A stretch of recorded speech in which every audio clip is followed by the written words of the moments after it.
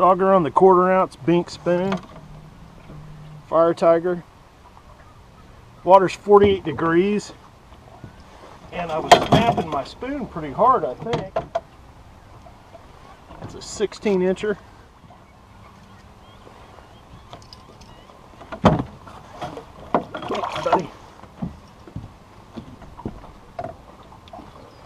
Anyway, the water's 48 degrees. I think they're about ready to spawn.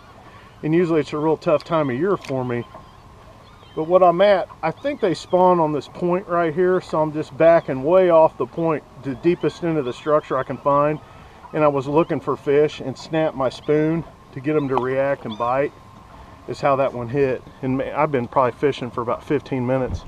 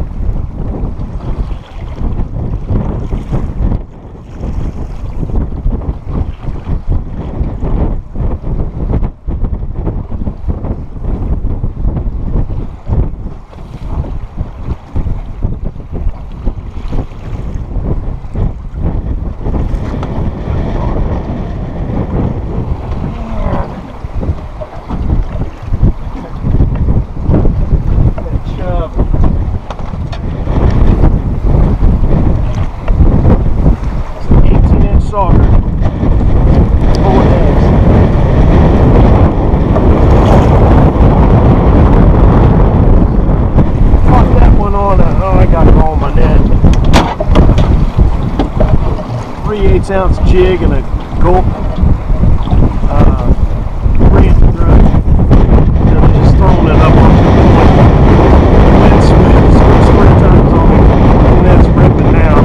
And I'd say, I don't know, it's probably seven or eight foot of water when I felt a little tick. My boat's out at 30.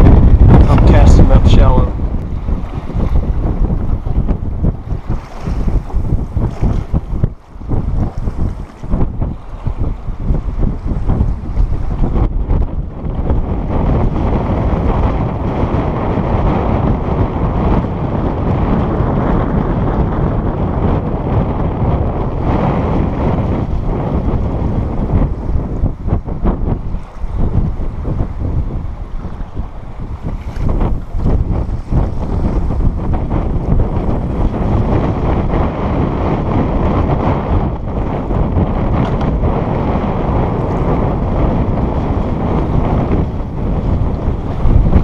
a white bass, but I want to make a, a point.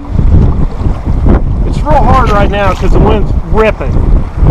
And the water's still only like 47, 48 degrees, so I don't want to use too big of a jig. And it's real hard to feel, so what I do, I cast perfectly downwind of the boat. And then it's a lot easier to feel than if you cast to the side. I'm pretty sure this is the cast where, hopefully you can hear me, I'm pretty sure this is where I went to the front of my boat, lined up with the motor and cast it just so I could get it as perfect as I could downwind. And that and I and I that was a long cast too, and I felt a little tick and set the hook, and I never would have felt it if I would have not cast it straight downwind of the boat. And another huge thing is FireLine. I say my videos all the time, yet I still see people fishing with mono not going to name any names, uh, but I would never have felt that with mono. And then also mono's thicker too, and it's going to pick up this wind and make it even harder to feel.